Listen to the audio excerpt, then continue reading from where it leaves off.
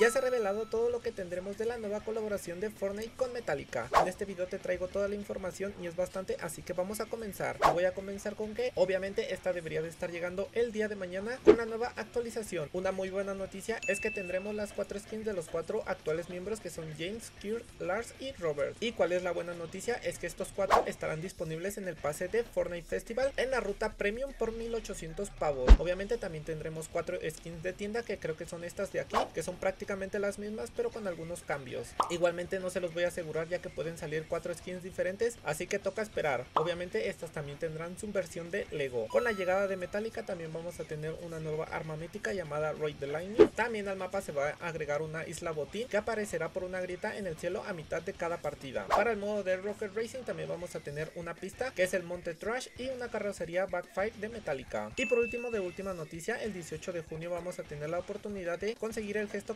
metálica en un torneo en modalidad dúos. Y yo sé que mucha gente también está esperando el concierto y este estará disponible del 22 y el 23 de junio, así que tendrán dos días para disfrutar el concierto.